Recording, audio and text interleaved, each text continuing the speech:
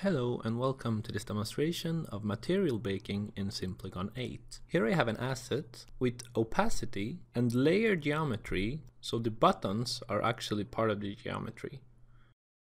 When using Material LOD, you have to keep in mind which channels you want to bake. The first LOD I'll create, I'll do without the opacity to see which result that would give. Second, I'll create a Material LOD with the opacity enabled.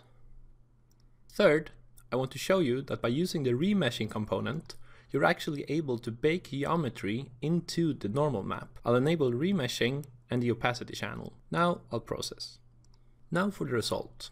Download and import. Here we have the original. The first LOD with the opacity not included, we can see that the transparent glass didn't have a texture at all, so it's now just white. For the proper material LOD with opacity, we can see that the opacity is now baked with the other materials. Last of all, for the third LOD, we can see that the actual geometry is now baked into the normal map, bringing the triangles way down. That's all for this demonstration. Thank you.